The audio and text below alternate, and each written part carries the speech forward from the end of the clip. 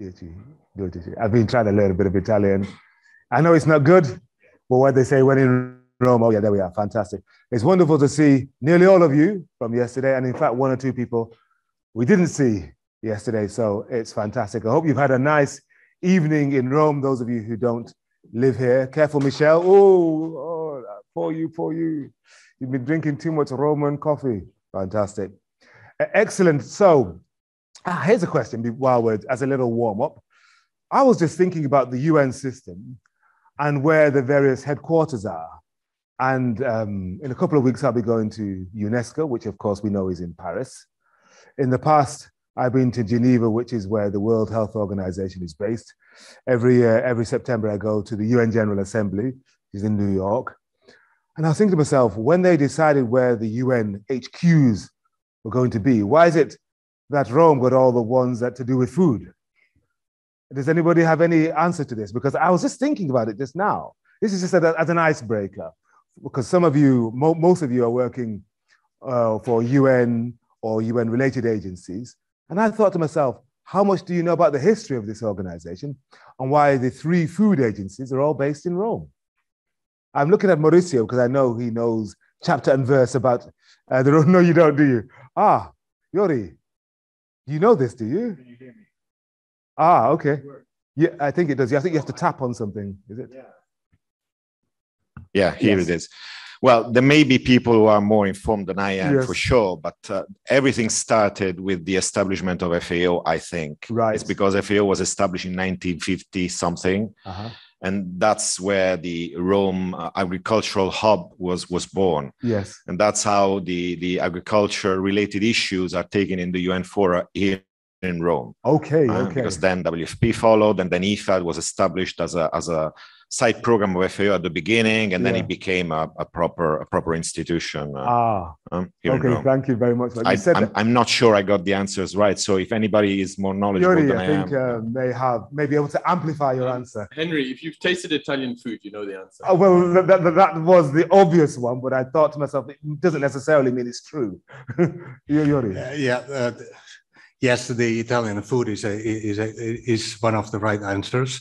Yes. Um, but to my understanding, uh, IFAD uh, was uh, already agreed to be uh, uh, uh, set to, in Tehran. Yes. but then came the Islamic Revolution, and IFAD was temporarily oh, right. established in Rome. And it became permanent. Yeah. Well, I, I, had no idea that IFAD was going to. Ah, yes, sir. just to add to Mauricio, actually the World Food Program was part of FAO. Right. Started off as the emergency arm right, of, FAO. of FAO. Yes. And then, of course, over a period of time, yes. it gained some independence. I love that. Gain uh, some independence. We are breaking free. Yeah. Breaking well, free. because actually, I mean, it is still uh, formally uh, part of uh, FAO. Yes. Technically. Yes, indeed. Yes, yeah. indeed. Well, okay. So. Fantastic. Ah, oh, yes, right. Yeah, the same way it's like uh, WFP is a sequel to FAO and as also IFAD, all these good sequel studios also have a prequel. Right. And I think FAO also. Oh, sorry. Um, yes. Sorry, yes, FAO also had uh, this, I think, pre-story that there was an organization. I wasn't not sure it was pre-war. I'm not sure if it's linked to the League of Nations here in Rome, yes. which was for the, I think, coordination or, documentation of, of, various matters in agriculture. So while I think uh, FAO was initially in Canada right after the establishment of the UN, it right. was quickly moved back here on, on the basis of that historic precedence. Wow, I wasn't expecting all of this. Is what they call collect- collective intelligence gathering, spontaneous as well, because I mean, I thought to myself I was going to get one or two jokey comments about Italian food. Thank you, Mike. And we got that. But I was aiming somewhat higher and we got higher and higher. So thank you very much. Uh, give yourselves a round of applause for a wonderful start to the morning.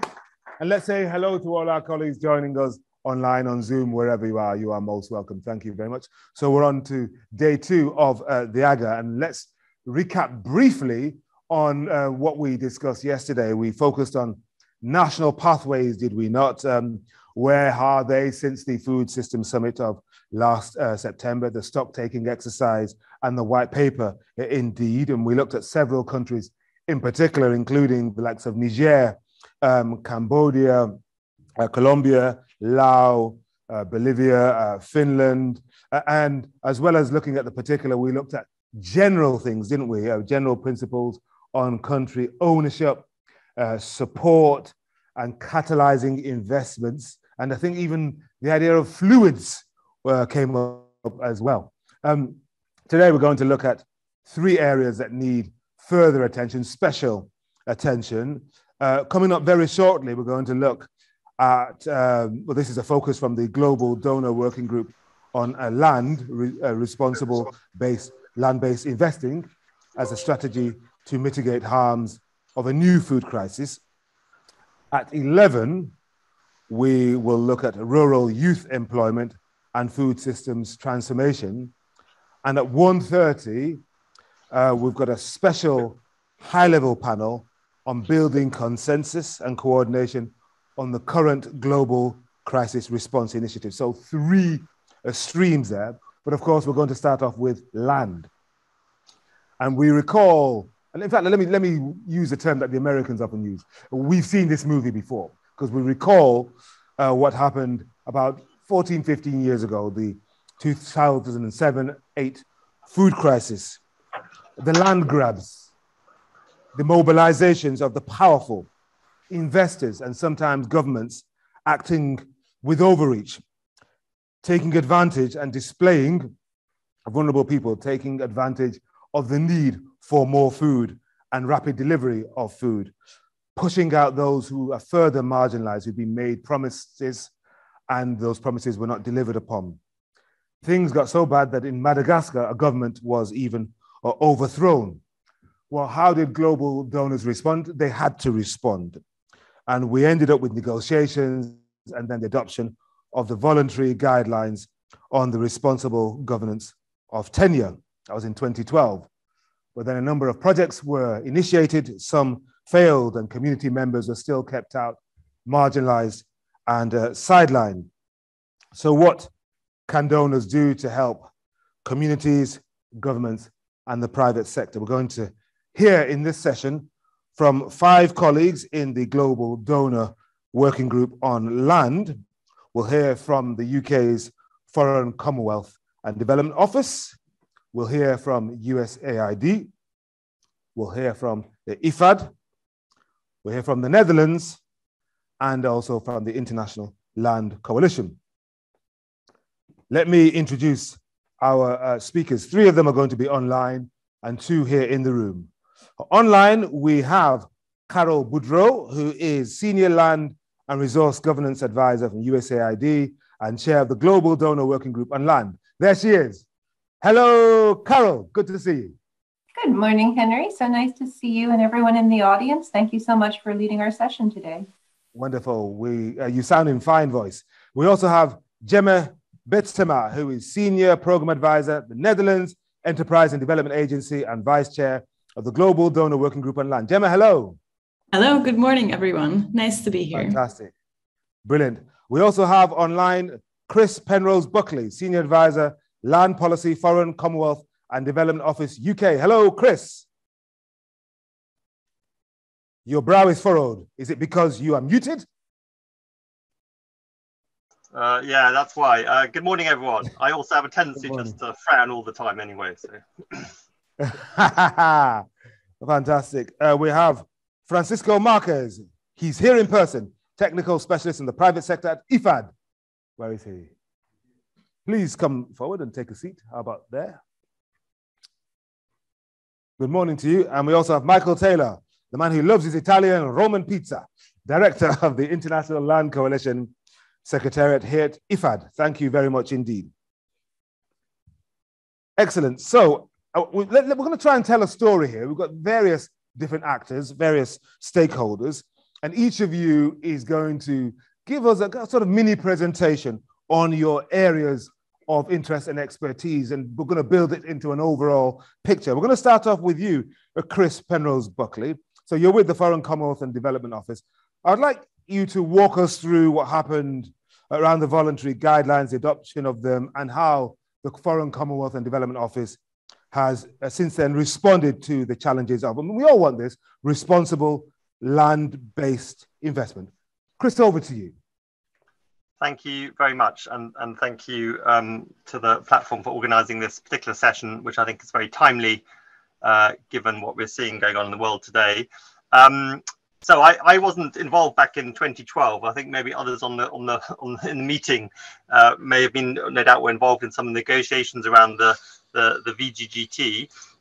Um, but obviously, once they they were announced, there was a, a, a, sort of a big global sort of focus on on trying to uh, support implementation of the voluntary guidelines. I think it's worth noting uh, in the context of the, the theme this morning that the VGGT primarily talked to the responsibility of states. Um, uh, there are some important um, directions in there for companies, for the private sector, but a lot of it obviously is talking about what the, the, the responsibility of states. Um, so back in 2013, a year after the VGGT were approved, um, the UK government, back then it was the, the Department for International Development, set up a, a program uh, some of you will be familiar with called Legend uh, Land um, uh, Promoting Economic Development um, uh, and, and, Governance. Um, and the, the aim of that really was uh, to do a number of things. One of them was to promote more responsible land-based investment. And let me just pause for a second because I, I, I, did rather late send a, a couple of slides. Um, if they are available uh, to Lisa, uh, they could be put up now. Thank you very much. Perfect.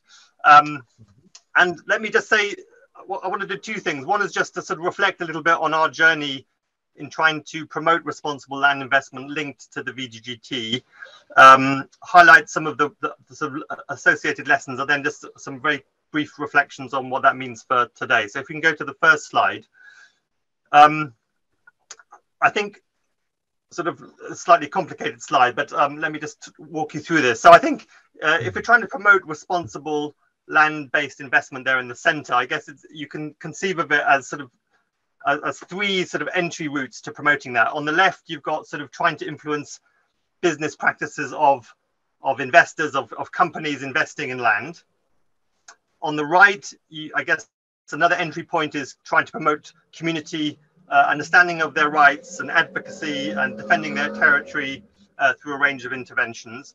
And then I guess the third um, entry point is looking at the, the role of the state, state regulation, and uh, what I have uh, called uh, uh, land investment approval and monitoring systems, somewhat um, confusingly at the top, right? So I, I, guess there's a whole system. I put it in inverted commas because it's really designed as a system, but there's a whole process that companies need to go through formal or informal to acquire uh, a concession or land. So I think our initial focus through this Legend program was was really on the left, investors and businesses. How, how can we help businesses understand um, how to promote good, responsible land investment? And we had a number.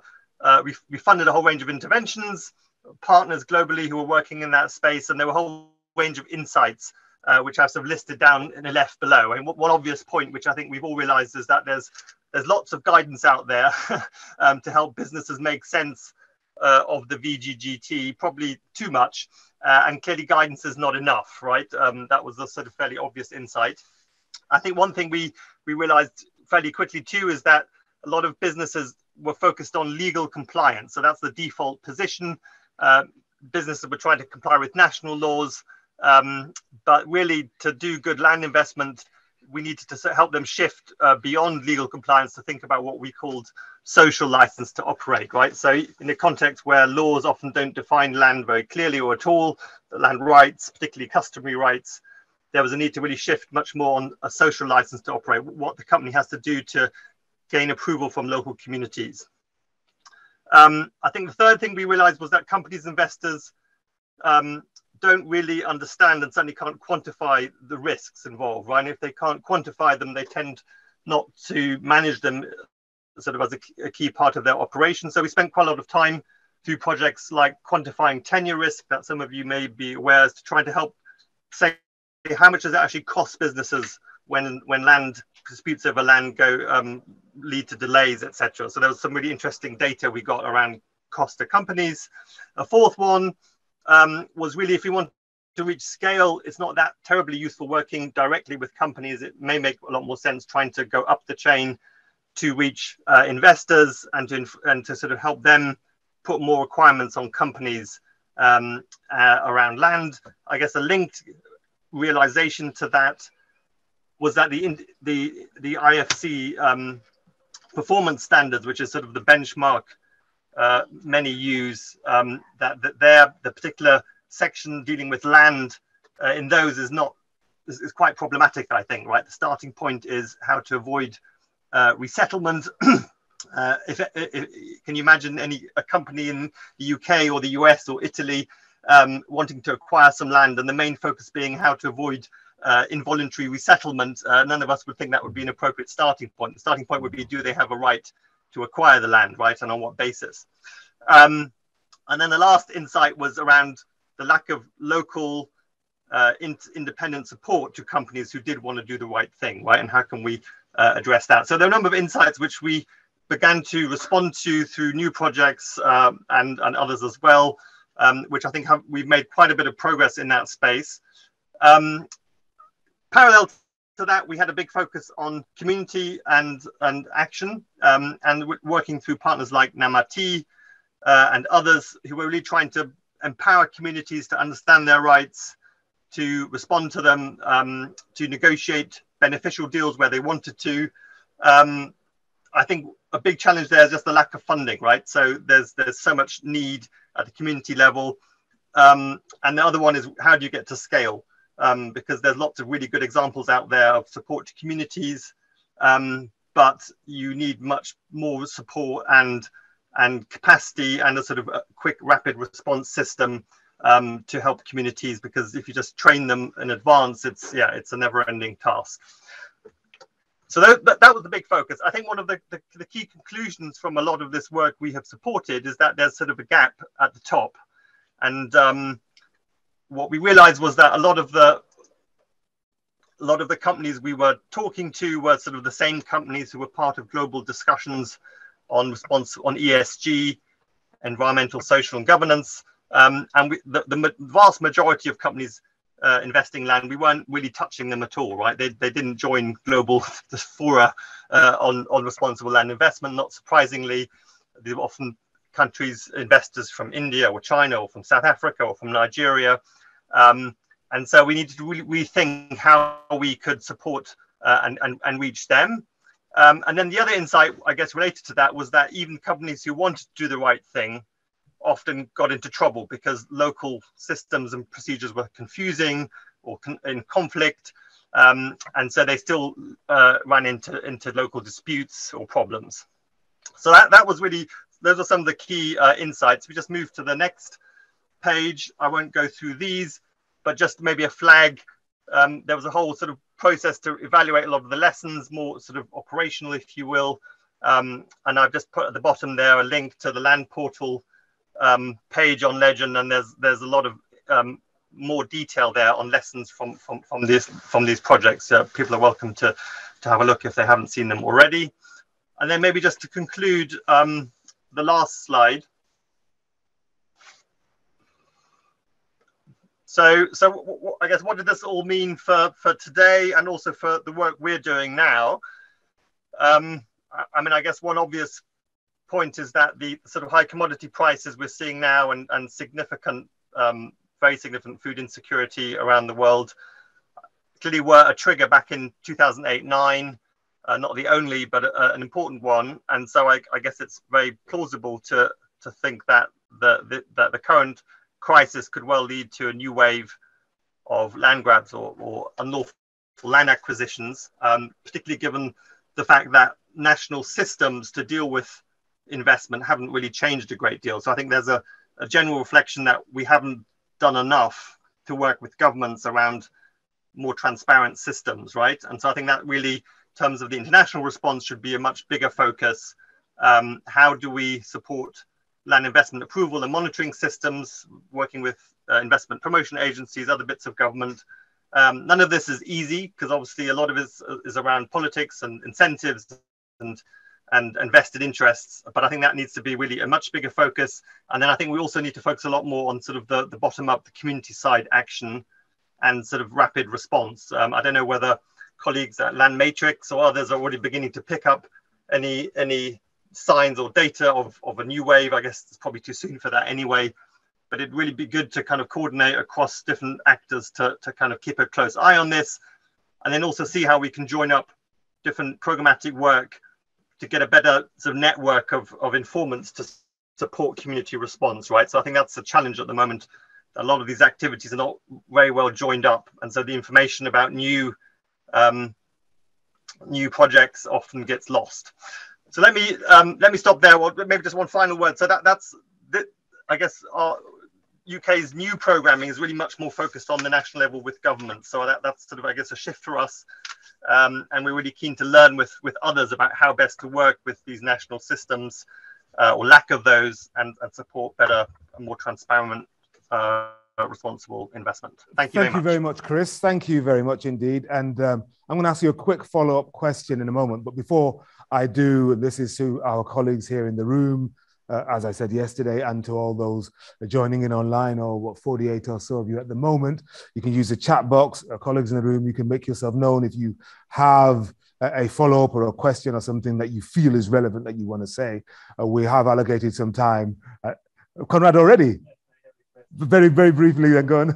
Yes, it's a very brief one. Just on the last slide, Chris, you mentioned investor incentives. Maybe just a few sentences if you could elaborate, please what you're thinking of. Thank you. Yeah, that, on, Chris. Yeah, if I may. Uh, yeah, so I, I, I, guess I think we've made some progress, uh, we and, and others, um, trying to make the case to businesses and investors that this isn't just some sort of nice to have ESG uh, issue or, or um, uh, but it, it is a fundamental problem to their to their investments, right? Delays around land disputes do cause material problems to um, um, cash flows, returns to, to investments. Um, so I think, I think, but I think there's a lot more to do, right? To not just to get that message out and to, to, to, to do more research and get better data to make that case to both businesses but also investors and um, particularly investors for scale. Um, but I, I, I think um, we, I guess we, we, I think we've got the ear of uh, some of the development finance institutions who I think are taking this a little bit more seriously. But as I said at the beginning, I think there's still this sort of default focus on the the performance standards, the IFC performance standards, which I don't think is the right entry point. Um, so I think there's work to do with uh, around those, but also uh, with with particularly mainstream investors um, uh, and pension funds who are investing in this space. I'm thinking of work they've done on nutrition around really trying to link this much more into um, global monitoring of investments. Um, and so I think there's, yeah, I think if we are, are going to carry on focusing on the private sector, then that's really where I think we need to, to put our put our focus and effort. Tremendous. Thank you very much, Chris and Conrad. Thank you very much for the early question. Start as you mean to go on. Quick follow up from me, uh, Chris. Uh, given um, the gaps you've uh, identified in your presentation, I'm just wondering how sufficient the FCDO's tools are, the ones you've developed, if we face, and we, let's hope we don't, face a new round of land grabbing? Just a brief response on that. Yeah, I mean, I mean, they're not they're not our tools, I guess. They're they're kind of tools that partners have developed um, for others to use. Um, I mean, I think tools I think are, are, are, valuable and important, but I, I think um, uh, well, it, it, depends what you mean by tools, right? I think so. That there's there's information, there's data. Um, a lot of it, as as as as also follow up question, uh, is is about incentives, right? And so. Uh, how do we shift incentives so people want to use these tools?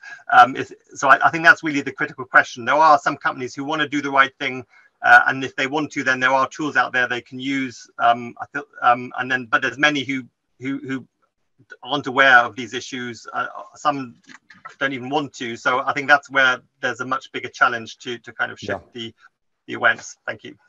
Excellent. Thank you very much, Chris, for that opening presentation. Let's move on to Karol Boudreaux. I can see her waiting, ready uh, to talk to us. And Karol, just to remind you, is a senior land and resource governance advisor at USAID and chairs the Global Donor Working Group on Land. And, and Karol, just wondering then what uh, USAID or USAID has done following the introduction of these voluntary guidelines, the VGGT. Please uh, talk about that for a moment, please. Sure, I'd be happy to. Um, thank you so much, Henry. And and what you'll hear from me is going to echo in in important ways what Chris was just saying. Um, so Lisa has my slides. I've tried to keep my slides pretty brief, um, and I'll walk through them and and we'll talk about this. So Lisa, you can go to the next slide. Thank you. Um, USAID was very involved in the negotiations of the VGGT. Uh, USAID's um, former land lead chaired the negotiations, uh, and I was in, I was at USAID at the time supporting the the negotiations, um, and so excited when the VGGT were endorsed uh, just ten years ago in May of 2020. Um, what was motivating those negotiations was, uh, in part, though not entirely, a response to the food crisis of 2007 2008.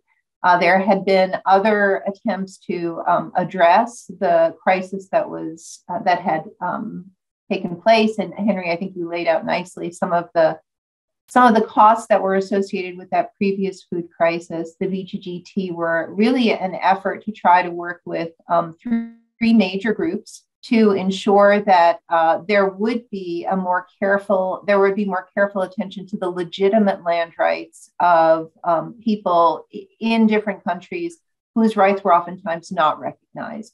So following the endorsement of the guidelines in may of 2020 all of us all the donors got started.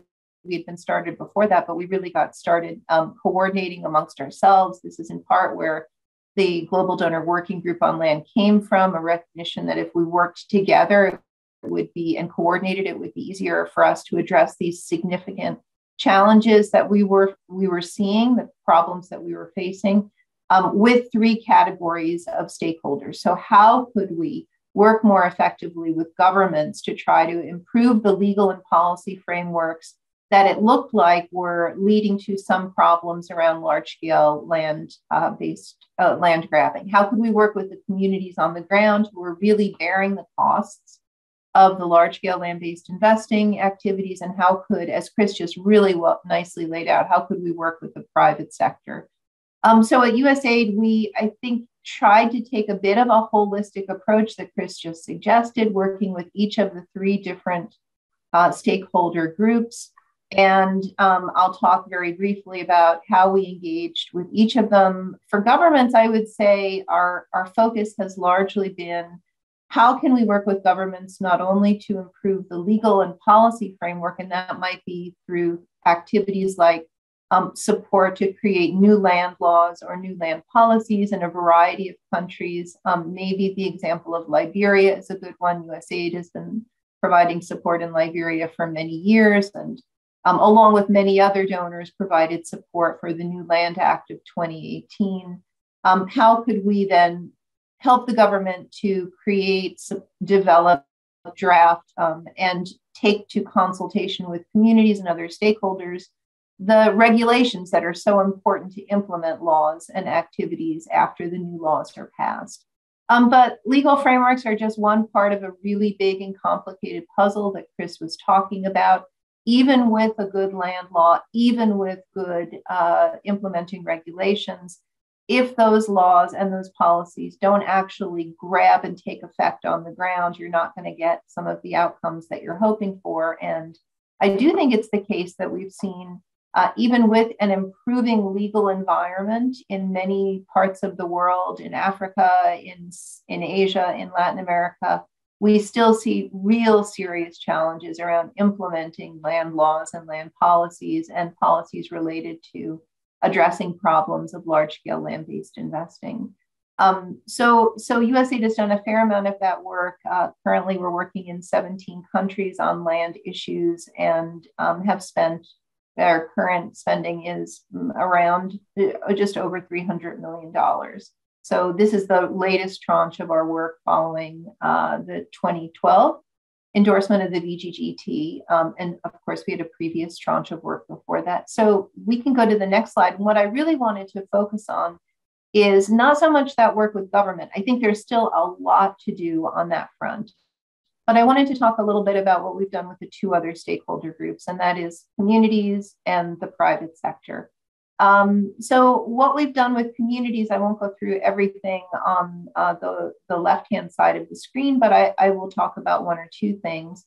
One of the things that USAID focused on doing, um, and this, this came about because at the same time the VGGTs were being endorsed, uh, there was a lot of talk in the land community about fit for purpose technology to record land rights. So we thought, wow, if we could help people on the ground to actually go through the the um, cumbersome, expensive process of demarcating and registering their land rights using new technologies that were around, geospatial information, uh, mobile applications. Maybe we could actually help more communities to get the um, to to register their legitimate land rights, and that would provide at least some degree of protection from the kinds of uh, problematic land grabbing that we had seen previously. Um, so we've done, so we developed a technology which is called mobile application to secure tenure or MAST at USAID. It's more of an approach than a technology, but we developed the technologies and have deployed MAST technologies in a number of countries um, to help at the community level, communities register their land rights. Um, we've done this and also in order to help governments meet commitments. So a number of governments um, coming out of that last food crisis, made commitments to register and record land rights. One good example would be Tanzania, which made commitments to um, register and record rights of millions of its citizens, but didn't necessarily have um, at the at that time uh, all the tools that it might have needed to do this kind of work or all the support it needed. And then we realized, um, well, we need to go beyond just registering and recording land rights of individuals because in so many of the countries where we work, what's really critical is registering, recording, and identifying the rights of whole communities. So now more and more we work with customary authorities to help them to register and record their, their traditional claims or their customary claims to land.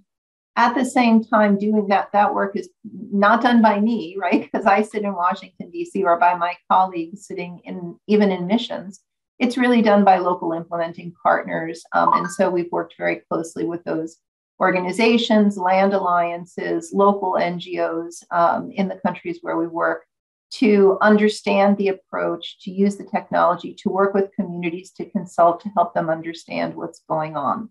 Well, this was set, this body of work with communities to register and record land rights using a fit for purpose approach um, supports government, but it also can support the private sector because at the time uh, the VGGT came out, as Chris was pointing out, there were some companies that were raising their hand and saying, we'd like to do things differently.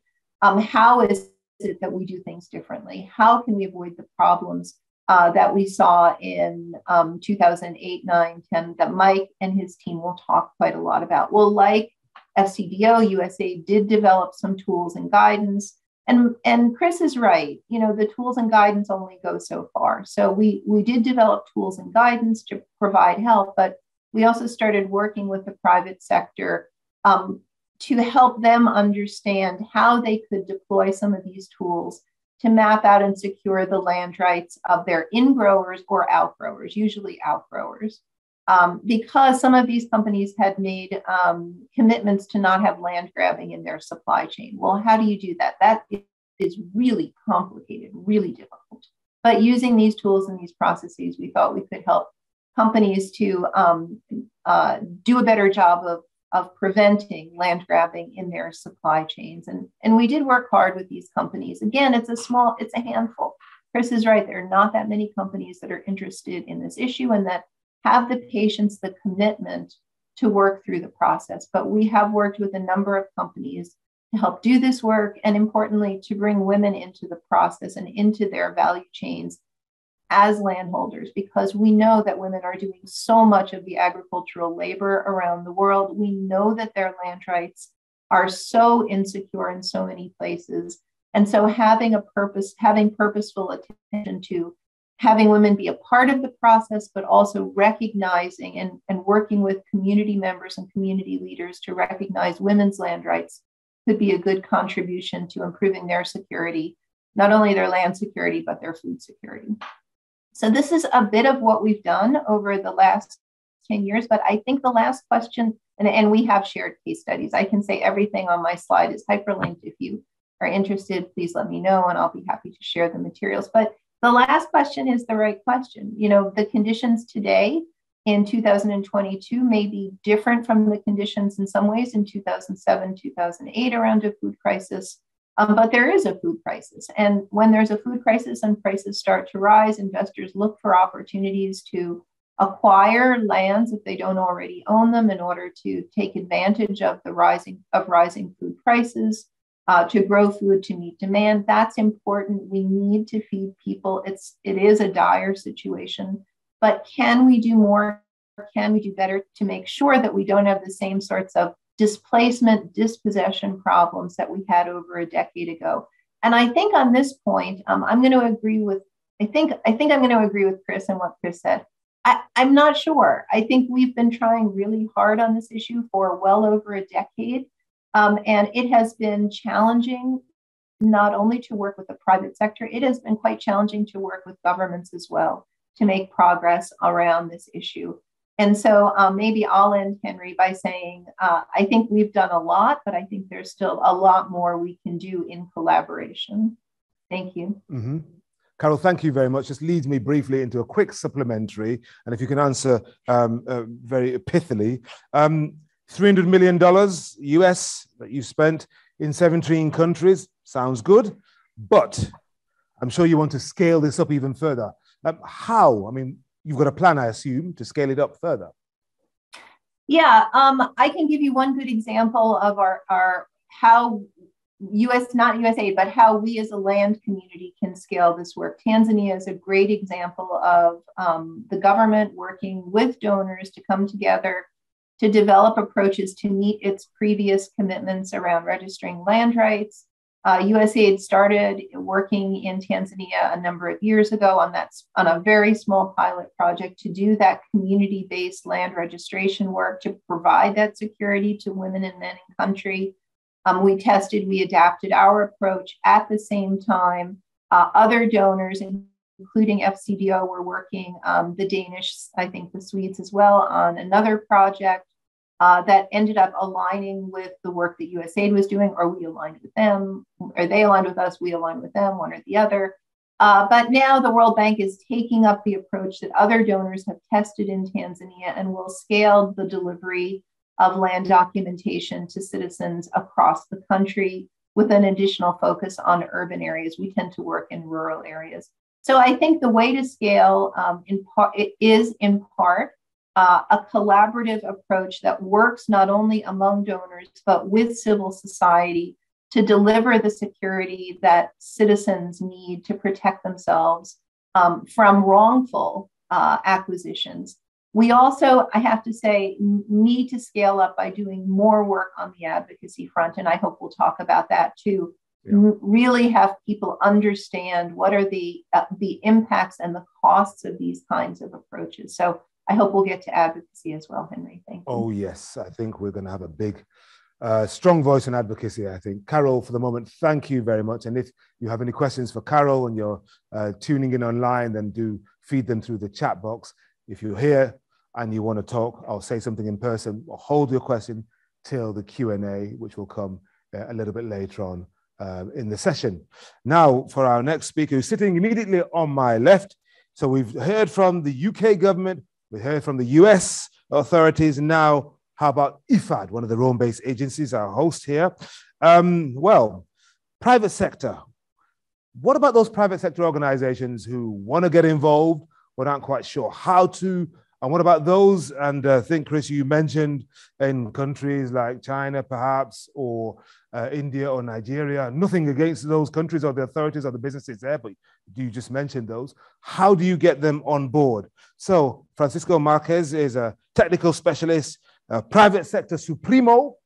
And uh, I'd like you to tell us about IFAD's work, Francisco, and engagement with the private sector. Thank you, Henry. And uh, I think it's good because uh, Chris and Kara already uh, touch upon the, the, importance of the private sector in this field. Mm-hmm. So I will be briefly presenting uh, a little bit of what IFAD is doing in, in the private sector financing program.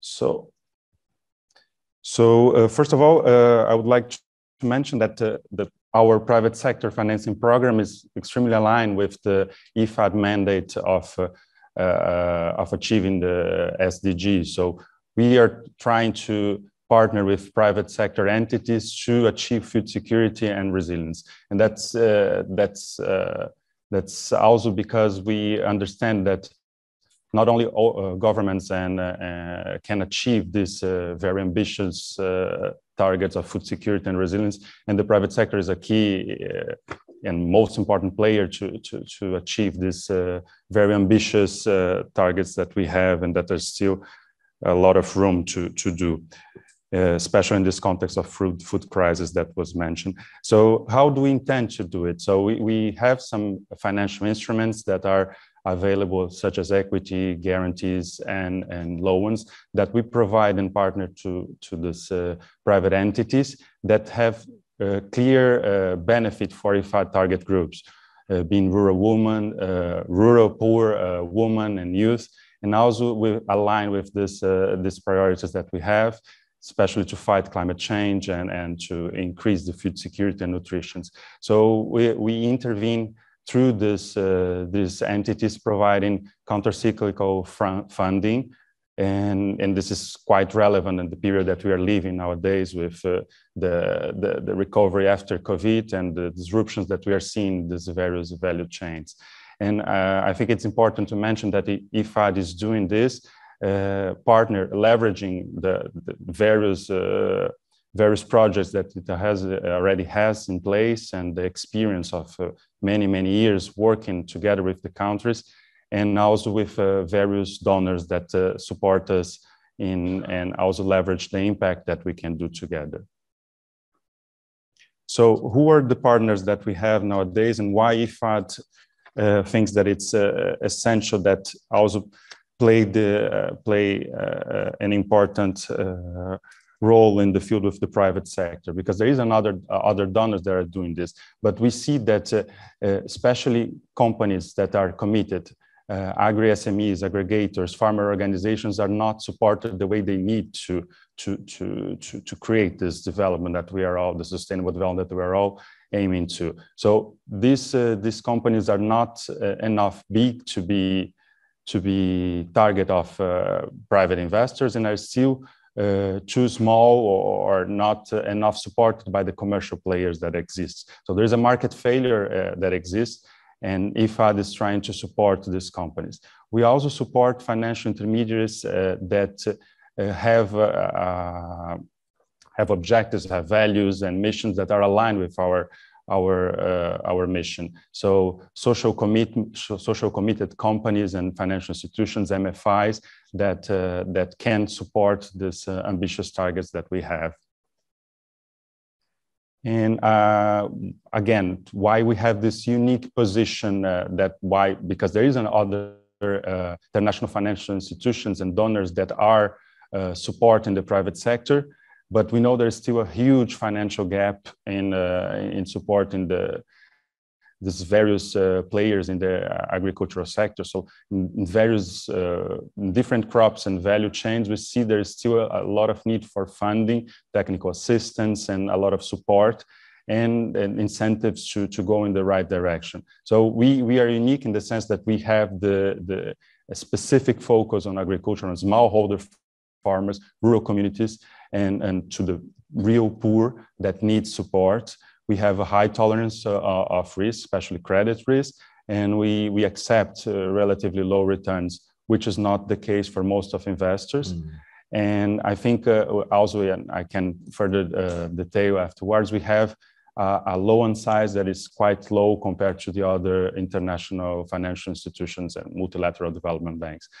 So we we are recently uh, uh, sorry we are new in the field so we we we officially started in 2019 but uh, we are ramping up. So we only had uh, five uh, operations, but that were really aligned with our target. That uh, it, it, does not include also the investment that the IFAD made in the agricultural business uh, capital fund, which uh, uh, IFAD, the sponsor, is one of the limited partners. But only on the private sector financial program, we already invest 20, almost 21 million dollars mainly in sub-Saharan Africa, that whereas the need is uh, it's, it's, it's, greater, uh, West Africa, Eastern Africa, Southern Africa, and also one in Latin America and Bolivia. So our average uh, ticket size it's relatively uh, uh, low, uh, below five million dollars, and you won't see a lot of investors coming to that level because of the transaction costs. and we are we are using mainly senior and subordinate debt to scale up our intervention, supporting mainly food crops, especially staple crops that are uh, quite uh, relevant to, to the food security. And we aim to achieve uh, a lot of leverage uh, together with our partners to, to really reach the, the most needed and the, the most vulnerable rural people that uh, are, is our target. So uh, I, I, think this is also complements a little bit of what Chris and Karol mentioned. So the importance of supporting these vulnerable groups, uh, especially youth and, uh, and women, it's quite relevant. And we are aiming to, to do, to, to have partners that have the same concern and that have the capability experience to leverage the impact that we can do in, in the field. So this is a, a major concern and we, we have been, uh, we have been uh, incentivizing companies that uh, we believe uh, uh, have this uh, mission aligned with IFAD's. And finally, just to, to briefly touch upon the, the uh, the stringent process that we have and give a concrete example on, on the on, on, land issue that we we have been supporting. So we have a very stringent uh, environmental and social governance uh, process in place we we do pay attention and have uh, stakeholders engagement when we are doing private sector investments and also have uh, always in the in our uh, in our projects grievance mechanism in case there is a dispute including land disputes. So we we we really have a stringent process when we're analyzing one of the partners that we we we team up to to achieve our goals and uh, I wanted just to give this concrete example in Madagascar, where we, we supported, uh, uh, we are financially supporting a company that uh, has a, a project, uh, a partnership with the Catholic Church and support landless migrants that uh, under contract farming. So they receive technical assistance, agricultural inputs, a lot of support, and then they are able to, to work on the land that, in this case, belongs to the church or has the concession for, to the, the Catholic Church, the local Catholic Church. And, and this is really been uh, something that we, we, we, expect to have a, a lot of uh, uh, development outcomes to the rural communities and, and to integrate this landless uh, rural people in the, in the, in the community. So I, I would like to thank you. And thank you very much indeed uh, for that. Francisco. Um, you say that you're a, a relative newcomer to this uh, terrain, uh, but of course, I'm sure you have a sense of what kind of impact you've had thus far. What kind of difference do you think you're making? Yes, uh, yes, I, I think uh, we we recently uh, I heard from uh, the Babban Gona CEO mentioned the the, the life of one uh, uh, one young uh, young man in, in, the north of Nigeria that was uh, that was about to leave the rural uh, the rural communities, go into the urban areas, and didn't have the money to to, to buy the bike that uh, the motor motorcycle that was important to him, and when he teamed up with uh, Babban Gona, got the, the assistance. Does everybody know Babban Gona? Tell us about Babban Gona. So Babban Gona, it's uh, an aggregator, but also uh, provides comprehensive service to, to smallholder farmers in the north of Nigeria. And we have been supporting together with other donors uh, their financial needs. And they do this transformational work with uh, especially young people in the north of, of Nigeria and providing all the, what they need. And this is really helping uh, especially to avoid these migrations to the urban areas and, and, and, and it's quite transformation. So it was quite impressive because he mentioned, he was explaining about this, this young guy that was hopeless and thanks to this intervention became, uh, became empowered and uh, was able to, to have the motorbike that he really wanted and was about to buy the second one. So it was okay. interesting. And when it comes to responsible land-based investments, um, what impact do you think you're having there?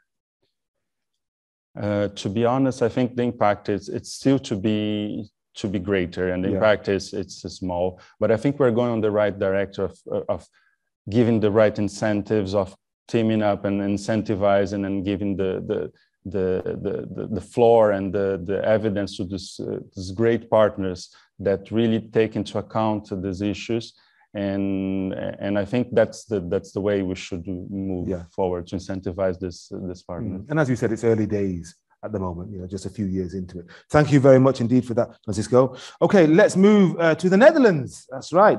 And Gemma uh, Betsema, should I say, who's ah okay. Do we have a quick?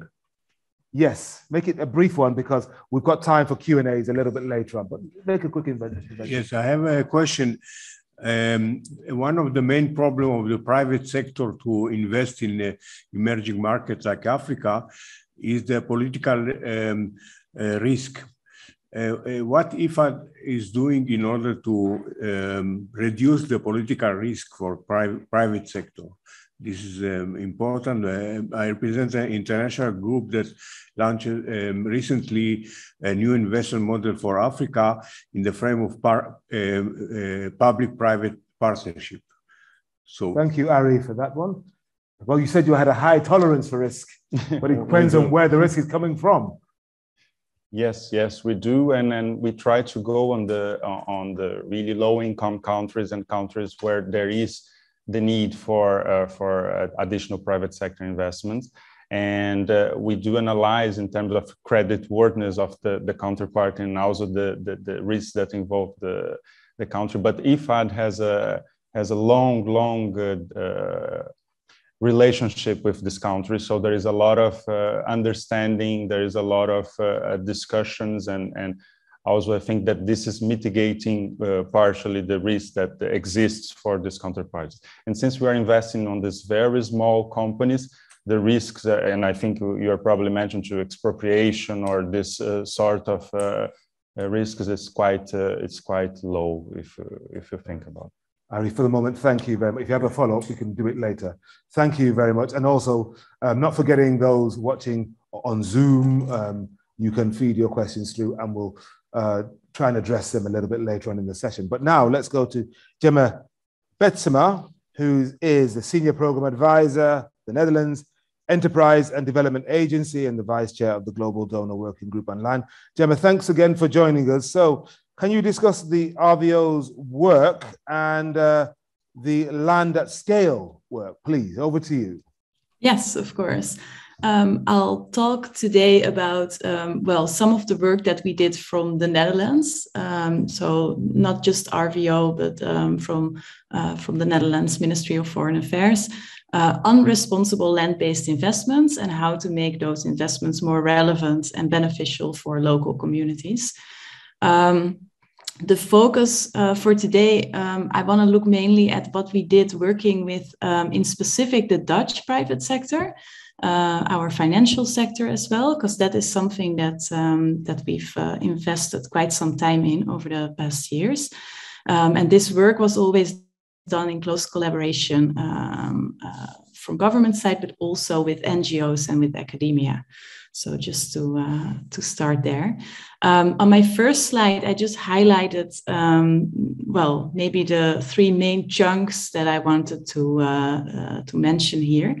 Um, I think what is very important for us to mention is that uh, following the, uh, the, uh, the, food crisis 2007 8, Um, one of the things that really started um, is that we, um, uh, well, invested a lot in research and learning, mainly through uh, knowledge platform uh, LANDac, um, but also in other ways. Um, and I think we were, of course, not the only one there, but a lot of others, uh, and, and also us from the Netherlands, we were really trying to see um, uh, well, to do some research and fact finding on what was actually happening. Um, there were a lot of media um, uh, a lot of media attention for, for the issue of land investments, land grabbing.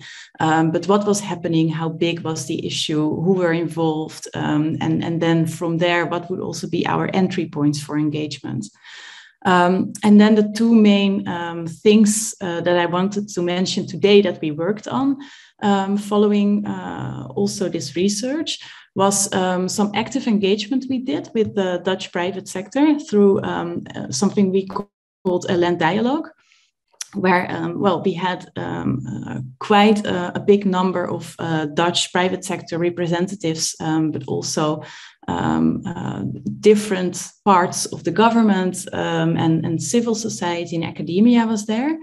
Um, and then I also uh, indeed talk a little bit about uh, the Land at Scale program which is, um, I would say, um, mostly supporting land governance more generally, for example, through um, uh, community land rights registration.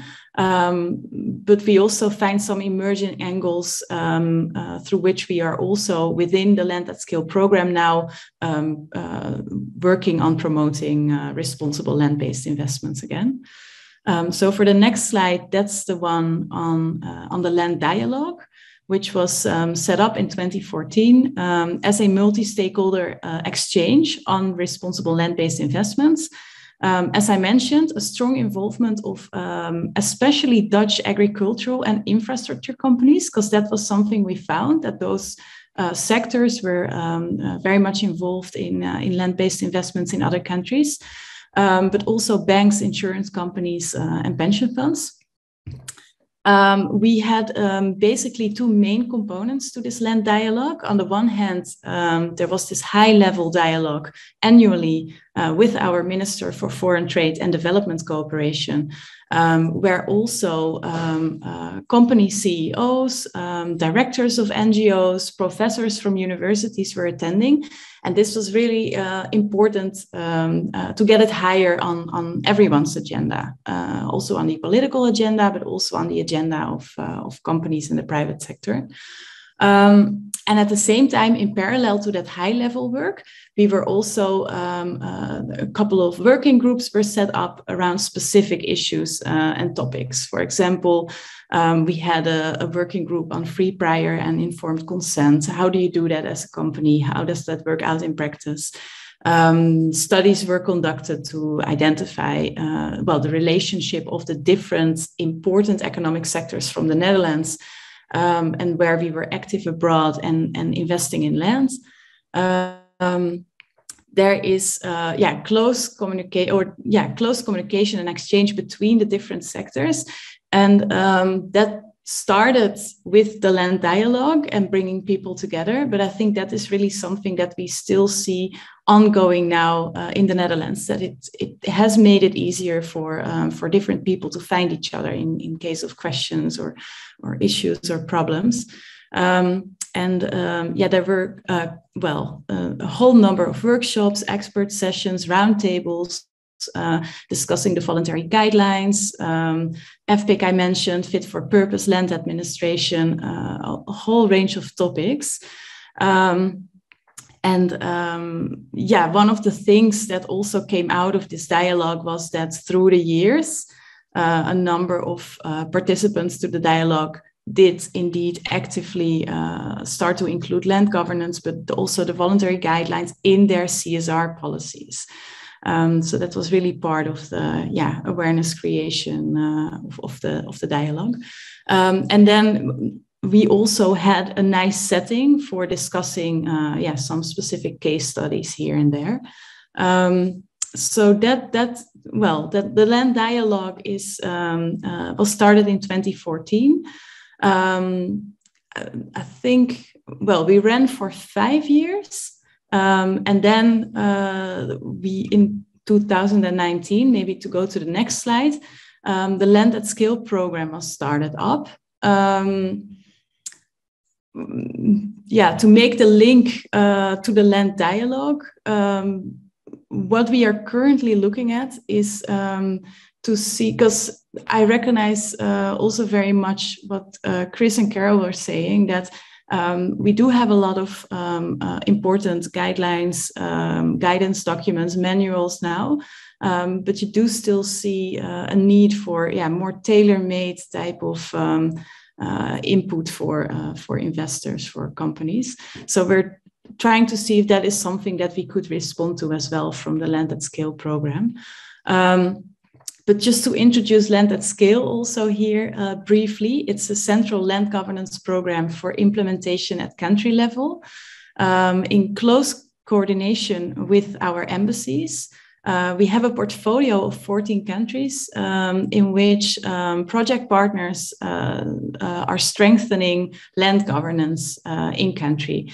And um, uh, quite a few of the activities are focusing on community land rights registration, uh, the link of community rights to the national system, national cadastres.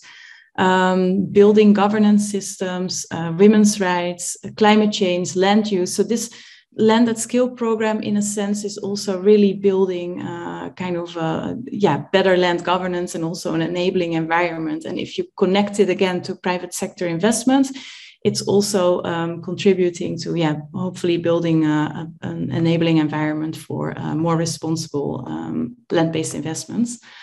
Um, some of the things there um, within land at scale that are more specifically focusing on, on private sector engagement um, is that we see that um, by having those, uh, by having uh, a number of projects in country, um, and already building on the relationships that were formed in uh, the land dialogue, we can see that it is easier to make the connections. So to bring in um, our implementation partners in the countries, uh, very most often um, uh, NGOs from the countries, to bring them in contact with, um, for example, um, uh, companies or investors interested in, in maybe starting investing in, uh, in the country. Um, what is interesting also is that um, the Land at Scale program uh, is managed by RVO, um, which uh, next to managing a whole number of development programs, uh, we also are running some of the Dutch investment support programs for uh, the Ministry of Foreign Affairs um, and also for some, some other ministries. And this really offered interesting collaboration opportunities for us. Um, so within the organization, it was quite easy to also, uh, uh, yeah, uh, organize brief introductions to the voluntary guidelines, uh, land governance, um, uh, as well as uh, providing tailor-made support to some of our colleagues. Um, and this is what I just mentioned before that we are currently exploring um, what we call until now uh, sort of a land desk uh, where we might um, try and uh, better link the more uh, general land uh, responsible land governance um, documents manuals uh, to more tailor-made support um, also very explicitly bringing in uh, not just the legal aspects of when you are investing in a country, but also um, bringing in the, the more informal um, uh, things that you should really be aware of as, um, as, as uh, investors and, uh, and, and so on. Um, and um, what is interesting um, as a last thing to mention is that the Land at Scale program very much runs um, through our embassies. Our embassies in countries are very much involved.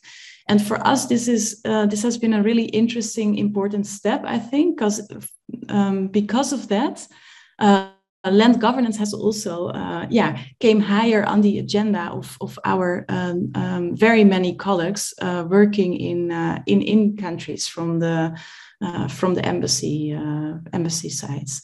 So um, yeah, maybe I'll I'll just leave it there. And uh, please let me know if there are any any questions. Yeah, uh, Gemma, there probably will be in, in the room and through the chat box.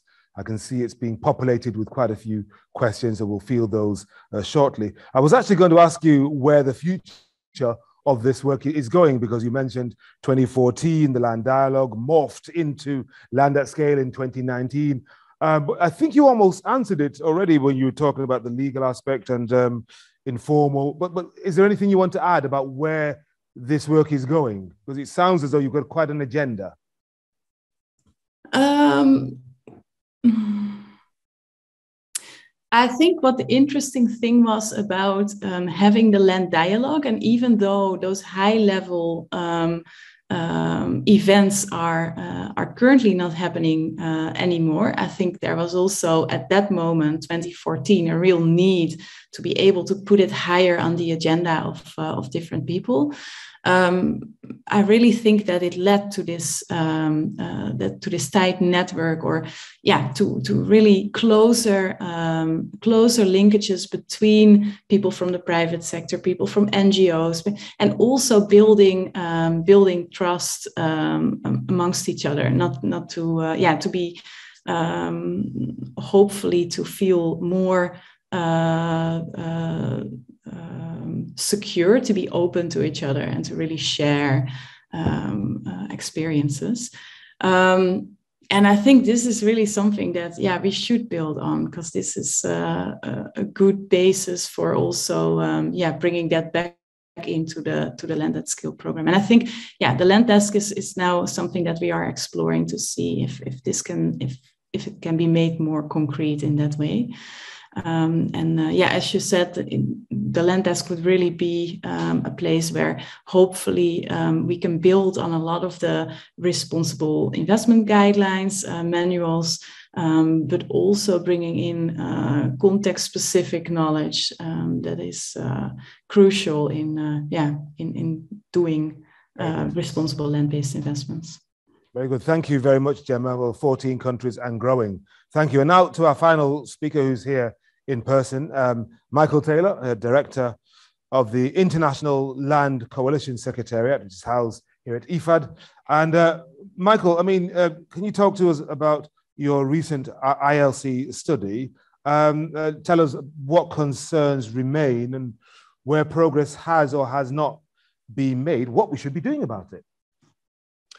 Thank you, Henry. Hmm. Are you the only one who can stand up, or would I? No, would no, you allow no, me to stand up and be kinetic? Thank you. Give thank us you. your Sorry. energy. I can feel it right now. So I think please. we all spend too much of our lives uh, sitting down. So forgive me if I if I stand up just to uh, to make this presentation. Um, the first thing I'd like to do is just express the the sincere appreciation of ILC of our network for organizing this session on land as part of your meeting for inviting us to be a part of it, uh, and for the, the continued good work you do, particularly through the Global Land uh, Donor Working Group, which is a working group of, uh, of this platform. We find that a very important, we're not a member, but we do get invited sometimes, a very important um, way of, of keeping uh, work on land harmonized, connected, um, getting up to speed with, with where challenges lie and, and building joint action. Uh, and as you can imagine, we believe that's, that's very, very important because we work on an issue which is underlying many of the crises the world faces, including crises that are being talked about a lot in this meeting. But often land is the sort of invisible factor uh, underneath. So uh, if you'd allow me, I just, I just like to before getting into this, just reflect a bit on something that's been preoccupying uh, me and my team uh, and our network in the last few days. Uh, we were contacted by members in Tanzania at the end of last week uh, in, a, in a village called Loliondo uh, and another village called Ngorongoro to say that the police, the army was coming into the, the community lands in big numbers and they, they, they were very worried about what was going to happen. Um, this wasn't the first time they've been threatened with eviction before. This is a, this is a, um, a wildlife conservation area. Uh, and the government has said that they want to use this land for uh, wildlife conservation and particularly for uh, controlled hunting. In the Loliondo area, uh, the, the, there's an investor that the government wants to give the land to um, from Saudi Arabia that wants to use it as a hunting uh, concession. Um, we were naturally worried, and sure enough, uh, a short a short while later, a few hours later, we started getting a film uh, of live ammunition being used uh, on the communities, uh, and then predictably some rather awful pictures of injuries uh, that communities community members sustained um, from the violence that then that then broke out. Unfortunately, this is a very common story uh, in our network. Just two weeks ago, we were reported by our members in Uganda of an indigenous person that went into his ancestral land inside a national park to go and uh, collect uh, wild food and was shot and killed.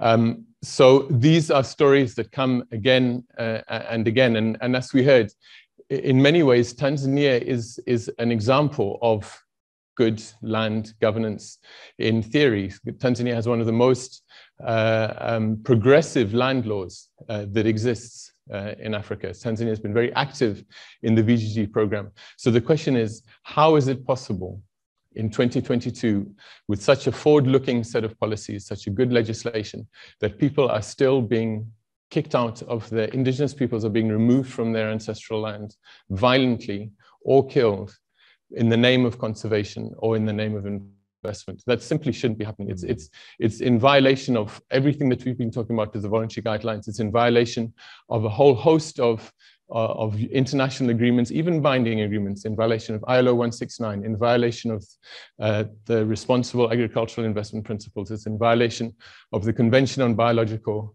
uh, Diversity uh, and many others. So that's just to frame a little bit both possibly the progress we're making, but also the very, very real challenges uh, that we that we face.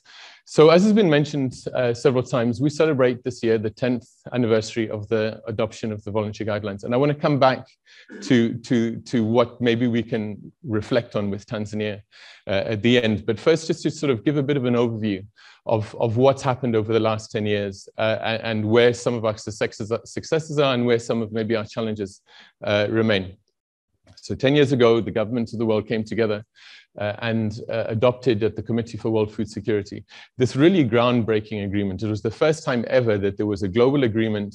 Um, it was hot on the heels of an African agreement, the Africa Land Policy Framework and Guidelines, which adopted was adopted uh, three years earlier, two years earlier, uh, in um, by the African Union, African Development Bank, and the Economic Commission for Africa. But this took it global uh, on an issue which is politically contested, um, often very polarizing, very difficult to find a national agreement, but it did it, and it did it in a very inclusive, uh, very inclusive manner. Uh, and actually, what's followed, I think that that sparked a whole lot of um, very forward-looking agreements. So a few years later, then we had also from the Committee for World Food Security, the Responsible Agricultural Investment Principles. I don't think we would have land as we have it in the Sustainable Development Goals if it wasn't for the progress we made through the voluntary hmm. uh, guidelines.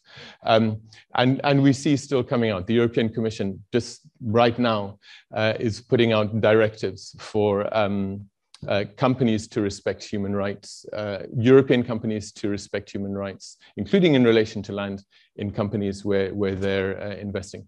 For our network, our network is a, a, um, a, coalition of 300 organizations around the world of, of many kinds, um, farmers organizations, indigenous peoples organizations, women's organizations, NGOs, uh, research institutes, multilateral and UN agencies.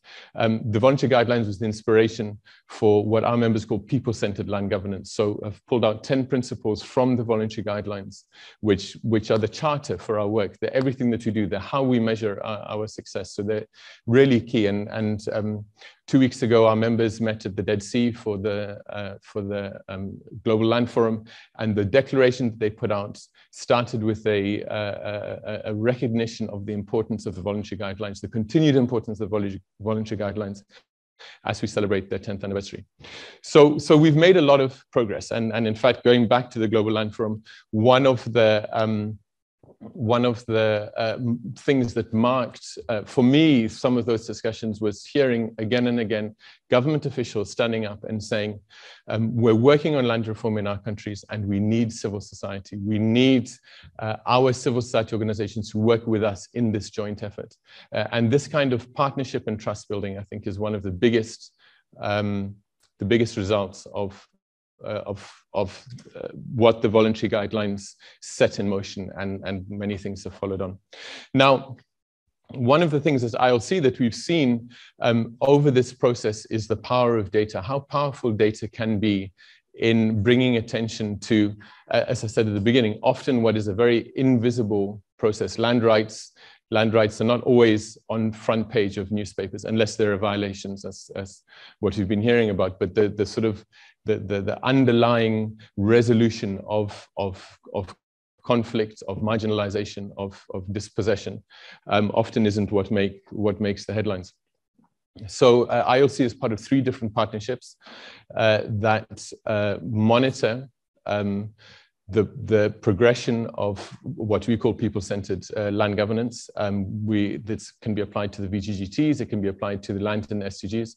So uh, the Global Land Governance Index, LANDEX, is, is the umbrella of that. The Land Matrix uh, is, is a partnership that's been monitoring large-scale land acquisitions, uh, and Landmark is the partnership that's been, that continues to monitor um, community claims on land. So a bit of, a bit of uh, data for you what do these monitoring um, partnerships tell us about, in practice, whether we see uh, the voluntary guidelines, the extent to which we see the voluntary guidelines uh, being turned into reality uh, on the ground. So this is from a, report that's just come out from the Land Matrix uh, that covers um, a number of countries in Africa. You can see the countries uh, highlighted uh, and uses Landex and Land Matrix indicators uh, to, to assess the extent uh, to which the principles uh, of the voluntary guidelines are reflected in investments, land-based investments in Africa. Unfortunately, and I guess rather predictably, the results are not very good. So 70, and I think Ward already put these data, this data in the, in the chat box, 78% of land deals show unsatisfactory compliance with VGGTs. And you can see on the map there, just three countries uh, are showing um, a score of above 50%. Everybody else is under 50%. 84% of countries have deals with unsatisfactory compliance. It's not a new problem. Compliance has always been a problem, but the, the challenge here is, is, is, is clearly that where the VGGTs have been a good reference point, but they're not enough to get uh, compliance right. And of course, there's, uh, as we heard from the previous speakers, there are many, many efforts to, um, so could you put the next one? There are many efforts to, to turn these kind of um, principles into practice, but here's some more data that shows, that shows the challenge of that. So this is a score on each of the indicators related to the VGGTs in the investments that were looked at from the Land Matrix database. Um, and you can see generally the scores are not good an average of 32.8 uh, out of uh, out of 100. And in fact, even more worrying when you look at what the lowest scores are. So the lowest scores to, are to do with consultation, consultation with local communities. FPIC, free, prior, and informed consent, especially with indigenous peoples, is really a, a widely accepted and fundamental um, prerequisite to responsible land investment. And we see that scores, uh, that's one of the lowest scores. Inclusivity, the, the inclusion of local communities in the investment model uh, and then even, even most worryingly of all, respect of legitimate tenure rights, especially of indigenous peoples. Um, now, in assessing uh, and in trying to follow good land governance, obviously transparency is very key because uh, if you don't have transparency, how do you actually know whether there's com there's compliance or not? So, so uh, just the last figure that I'd like to show, and I encourage you to look up the report. It's on the landing page of the Land Matrix, www.landmatrix.org, um, and uh, you, you can you can get all the data there. But the, the, the last one that I wanted to pull out was on uh, on transparency, and you can see really quite dismal transparency uh, rates uh, across the countries. Only, only two countries um, having a, a, score of between 20 and 30 and everything else um, below that. So just, just then, in, in conclusion, just from, from that data alone, um, maybe highlighting what we would see from the ILC perspective as, uh, as three of the most urgent tasks that we also are part want are working hard to be part of the, the solution to. The first is the continued and ongoing challenge of fast tracking uh, land reform. We've been talking about land reform, particularly in, uh, in, in the African context that that data came from, uh, for a long time. And, and many countries have very progressive policies, such as Tanzania, but we're not seeing the pace of change uh, that, that, we, that we need to see. Our uh, um, contribution as ILC is largely through su um, supporting national land coalitions. So wide partnerships at the country basis to develop a strategy for change towards better land governance and working together with different uh, partners, particularly the government and, and where possible, the private sector, uh, to, to try and move towards a more people-centered uh, approach to land governance corporate accountability obviously is is key and and many of the speakers before me have have spoken well about it. Uh, and transparency and monitoring. Um, we can't monitor unless we have transparency but also monitoring um, we've we've struggled monitoring land in the sdgs in fact almost no countries uh, have given a comprehensive report on the land indicators in the S, uh, in the SDGs. Uh, and so we're working very hard on civil society monitoring. One of the speakers yesterday mentioned it, and I was very glad to hear. Um, greater recognition for the, uh, the, the, the, huge contribution that civil citizen data, citizen-led data initiatives can have, particularly on issues such as land in which there may be very, very different perspectives and often even different data depending on what your, uh, on what your perspective is. Um, and we will be working with uh, the FAO, uh, UN Habitat and CIRAD uh, very shortly to establish a global land observatory that we hope will be um, a, a, point of reference for putting out uh, data with respect to the VGGTs, with respect to land in the SDGs, uh, and, and, make visible a lot of what, uh, without that data, it's invisible. So let me just come back to, to reflecting on, on this awful and ongoing situation in, in Tanzania. Uh, and in fact, in the world, uh, in, in, the, in this point we, we are at, uh, I was interested that almost everybody who spoke in this panel mentioned um, the similarity in, in conditions that we face now as we did 10 years ago, just before the VGTs, 12 years ago, just before the VGTs were adopted. And so, and so we, we, we don't see it yet, at least as ILC, we haven't yet measured it yet, but we, we do see the possibility for uh, um, increased land grabbing and increased uh, land rush. And so we need to be prepared both for what's coming, but at the same time, maybe we could also repeat um, uh, be, be more prepared to, um, uh, to, to, to renew our tools, to renew our approaches, to, to, to not necessarily fall back on the VGGT, but take the, what the VGT has given us forward with approaches that are ready, not just for the 2000s, but for the 2020s. Um, and um, I think as we as we look at at Tanzania and a country which which in many ways is a model, but such fragrant and and and violent um, disregard for for agreements that the government uh, has made and investors ready to go into such uh, context of, of human rights abuses, but but still ready to go in. Uh, what is it that we need? And, and here's three, three points. But I think for us in ILC, the key point, and this is really the center of our strategy that our members have just adopted that will take us to 2030, is we need a power shift. We need a power shift. We need, uh, in, in, in, when talking about land governance, for, for people in those countries uh, who work on the land, who live on the land. And when I say those countries, I mean all the countries in the world, because this is not an issue just of, of some regions and not of other regions.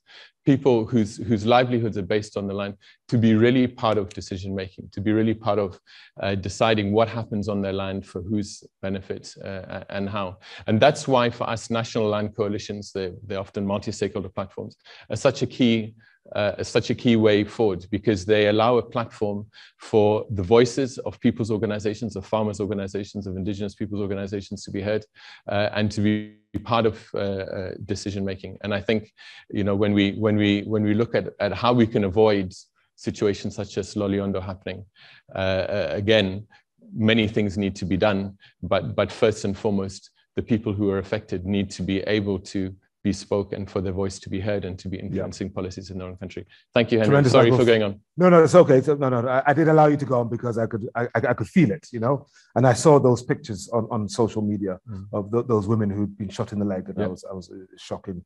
Um, and it speaks to uh, some of the questions that are coming in. So thank you very much to all five. Let's have a round of applause for the five presentations. Uh, tremendous presentations, and people have been inspired uh, to ask questions both in the chat box and maybe one or two here in the time we have left. We've got about 10 or so minutes left. Uh, Ward Anseeuw um, is talking about transparency, and this came in before your presentation, Michael, uh, saying what can be done for more transparency. I know you've given us a, a, bit of a toolkit there. Incentives for investors to make public their land investment data. But he says uh, none of the European countries have agreed to push this through. If I'm not mistaken, only Germany is looking into this at this stage. That, that's interesting. Is, is that right, Michael, as far as you know? If Ward says it is right, because he's the one who wrote the report. Oh, right, okay. fine, fine. Ward did not declare uh, his, his origins. yeah. Fine, fine. Well, I'm going to ask Gemma, actually, uh, coming from the, the, the, the Netherlands. Um, have, you, have you uh, put some heft, put some weight behind this, according to Ward, who seems to be the oracle on these, on these matters? Only Germany is looking into this. Uh, you know, giving incentives or incentives for investors to make public their land investment data. What's the position in the Netherlands? Yeah. I, I do know that um, uh, a couple of NGOs have been working hard on this. Um, they are lobbying uh, some of the investment uh, investment banks to uh, to be more open about it. Um, but uh, I don't yeah like i also believe Ward actually if he oh, says right, that uh, Karol uh, do you believe ward as well? I mean uh, uh no i don't think i don't think that is uh, that is completely uh, that's completely open yet. But i do agree with the importance of transparency. And also when do you want to become transparent about it? Because um, it, it would of course be best uh, if you could already know uh, investment plans before, because then you can already um, start a well a discussion, a dialogue uh, even before an investment is done. Um, but then you have a lot of pushback from uh, from private sector and investors um, that this is uh, for them this is uh, not something that that they can work with. Um, and but transparency is still important also when when the investments are done. but yeah yeah transparency but it's it's of course extremely complex because uh, yeah. then you have um, yeah there's often a lot of different people involved in just one investment so that's also something yeah. uh, that makes transparency probably even uh, even more difficult yeah. understood gemma uh, Karol do you have anything to add on this what's the us position Oh, as um, I'm sure the audience knows, the US does not have the same sort of ESG directives that the European Union has. Um, so it's uh, there has been perhaps less development uh, from our side than there has been from Europe. I will also say, though, if Ward says it, it must be true. well, this Ward seems to be very powerful. Um, let, us uh, talk. Uh, Dr. Nam um, Namkolo uh, Covic, Namukolo Covic, who was one of our speakers yesterday, based in um, Ethiopia, talking about the issue of land rights, indeed, uh, and saying that even when people get their land rights, the land is still open to grabbing. We've just heard about the issue in, in Tanzania and elsewhere. And what she's observed, she says, is that the companies and indeed private individuals with the means offer to buy the land from poor people with little understanding of the value of their land. Those who sell the land then quickly become destitute, now with no land for the subsistence farming that would have sustained them. Is this type of land grabbing scenario also getting some uh, attention? Um, who wants to take that on? I'm just looking for any indication. Francisco, do you want to have any thoughts on that? I know, Michael, you'll have views on it, but uh, Francisco, what do you think? Yeah, this is, uh, of course, a serious situation. I, I can only comment on the, uh, the private sector perspective. That's yes. something that we pay attention, that we that the companies that we support, the partners that we work with are, are paying attention uh, to this issue and not allowing uh, land grabbing and respecting the land rights of the, the indigenous people in the local communities. I think that's something that we, we, we are really looking into and there is uh, grievance mechanisms in our investments to be sure that in case there is something that is not uh, properly addressed, there is the, the way to be spoken and, and to be addressed uh, properly. Yep. Thank you very much. Uh, Chris, let me bring you in on, on this. Your thoughts on this or, or, or on anything else you want to uh, address from earlier? Thank you. Yeah, no, I, think this this last question I think is really important, um, and I I don't think it's just a sort of external investor problem. Um, I mean, there's a whole uh, lot of research on sort of small, uh, medium scale emergent farms uh, uh, from or, or um, retired civil servants uh, investing in land uh, in many parts of the world, particularly in Africa, right? Uh, and and and actually being uh, primarily responsible for a lot of sort of local land grabs, if you will, and, and often it's it's that lack of information, right? Uh, uh, poor people who are cash poor are offered money um, and don't un- find it hard to sort of really um, assess the value of that. So I think that's it's a huge problem. I think, um, I mean, obviously part of the answer is helping communities understand the value of their land. Um, and I know one of our partners, Namati, have done some really interesting work through their land protection program to work with communities over up to six months, really to go through a whole process to to to, to think through the value of land, how they use it, all the, the different benefits they, they, they extract from it, um, and to use that as a basis for for negotiations, right? So that they can uh, are not uh, don't don't go into sort of short uh, on on the door kind of deals. Um, but again, to do that at scale, that requires a huge amount of investment uh, across millions and millions of communities. Um, so again, I, I, think I think the, the challenge is to work around uh, sort of in, in systems, and that's often around local government, local government, but also national. And I think I think when we say systems, people we often think of sort of legislation, and obviously legislation is really important. But as as Mike was pointing out, I mean, there's lots of countries that have fairly progressive legislation, but it's not implemented in practice. So I think we also need to sort of focus on the actual formal and informal systems in how land is allocated, right, irrespective of the legislation. Um, and obviously, many investors don't go through any formal process. They go to an MP or, or head of government and, and, and negotiate deal. Um, so I think it's it's about really trying to focus on that actual actual process, formal or informal, and trying to work with the different stakeholders. None of that's going to be easy because because of the vested interest. But I think unless we put more focus on that with civil society um, um, and and government, um, it's going to be hard to, to see significant progress. Okay, Michael, yes. Yeah, just just quickly to add, uh, in agreement with what everyone has said, probably the, the biggest and most pervasive form of land grabbing that's almost always invisible is against women. Yes. So women women often suffer losing access to land when a husband dies or a father dies, uh, or uh, uh and and uh, lose it to relatives, lose it to the chief, or or, yeah. or in fact don't even have their rights recognized uh, at the beginning. If you look at the statistics for recognition of women's land rights, it's absolutely abysmal. They're more than half the population, uh, and yet the numbers are, are, incredibly low. That's changing in legislation, but we don't yet see the change in practice. No, no, on, on the ground. That's yep. right. A question from Karim Hussein, and then we'll get one final one from the room, I hope. Uh, to what degree do these initiatives that are private sector oriented uh, work in collaboration with farmers' organizations and decentralized and elected local authorities on land tenure issues and ownership of assets stroke profits. That's interesting. So collaboration with local organizations uh, farmers decentralized. Who's got uh, thoughts on that? I'm just looking for anyone who wants to take that one up. Yeah i'll yes. jump in quickly. Um, oh okay, sorry henry no, Karol, go on, and then Francisco. I, am sure IFAD does the same thing that we do. Um, in our work, we're always looking to work with local government officials uh, to make sure that we have um, engagement from those officials. They understand what we're doing. But, but importantly, yeah, very often working with farmers, cooperatives, or other farmers or local organizations, CSOs for sure. Uh, but in addition, these local organizations that are producers, because the point, part of the point of doing this work is to promote sustainable livelihoods and food security.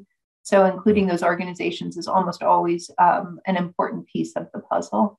Uh, and I'll just leave it at there and turn it over to others. Right. Karol, thank you very much. O- over to Francisco, uh, private sector specialist at uh, uh IFAD. Sure, it, it, goes to our heart. I think it uh, IFAD has a, a long uh, history of supporting uh, uh associative action from farmers, smallholder farmers. So we do support farmer organizations. It's something that we, we when you are doing an investment, it's something that we try to to to privilege and support to, to give them the, the, the space and the incentives to to to have uh, market access at uh, appropriate uh, and fair prices for instance if they're selling their output. And uh, we do also pay, pay attention on the stakeholders. So we do have in our investments stakeholder stakeholder engagement uh, plans to be sure that uh, Uh, all the key uh, the key stakeholders are involved and and here to, in case of uh, our investments. Tremendous, Francis. So thank you very much. We're slightly over our time. Now, unless anybody has something that they are bursting to say that they feel has not been said, that is missing, and that really needs to land right now, I'm going to wrap up this session and allow you to go for your break. Conrad, you're standing in between everybody and their coffee and their refreshment. So, so you've so got to make it really 10 good. Minutes. As, no, no, no, no, no. As your co-chair, I have to give you the floor. Okay. Well, first of all, thanks a lot to all the panelists. Really excellent and very fascinating presentations. Please do share them, as we said in the chat, uh, with the secretariat so they can be circulated. Yes. Just coming back to Mike at the end, uh, very interesting, though very happy to hear, and also from Chris, that governments are actually standing up uh, and asking civil society to be involved. Now I'm a bit provocative. Um, one of your last slides, a re report from the land matrix, you mentioned that there's unsatisfactory compliance uh, in 84% of the countries.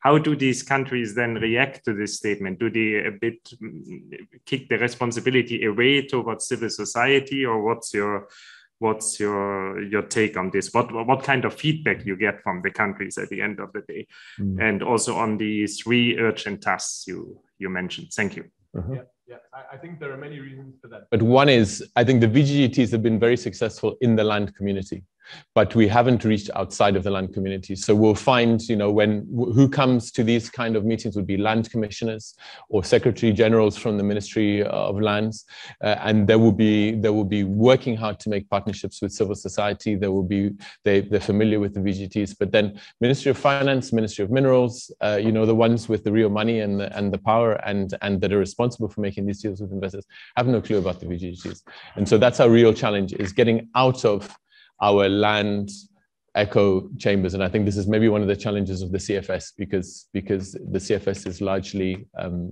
ministers of agriculture and, and, and doesn't often go beyond that. Michael, thank you very much. I think we can land now, as they say in Ghana. You see what I did there?